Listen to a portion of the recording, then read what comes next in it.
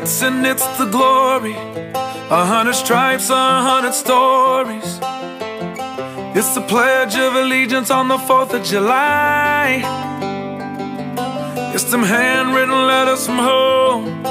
It's them sleepless nights alone. It's his newborn baby he left with his wife. Mr.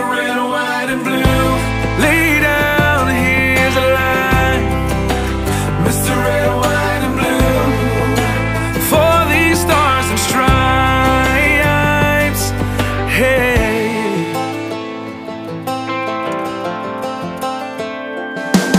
From the fields of Indiana To the swamps of Louisiana.